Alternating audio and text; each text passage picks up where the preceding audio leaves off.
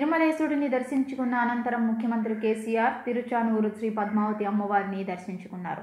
కుటుంబ సభ్యులతో కలిసి సీఎం ప్రత్యేక పూజలు చేశారు. ఆ తర్వాత తుమ్మలగుంటలోని వైసీపీ ఎమ్మెల్యే చెవిరెడ్డి భాస్కర్ రెడ్డి ఇంటికి ఆయనతో కొద్దిసేపు మాట్లాడారు. అక్కడి నుంచి తుమ్మలగుంట శ్రీ కళ్యాణ వెంకటేశ్వర స్వామిని కేసీఆర్ దర్శించుకోనున్నారు. ఆ తర్వాత రేణిగుంట విమానాశ్రయానికి చేరుకొని బేగంపేటకు సీఎం పయనమవుతారు.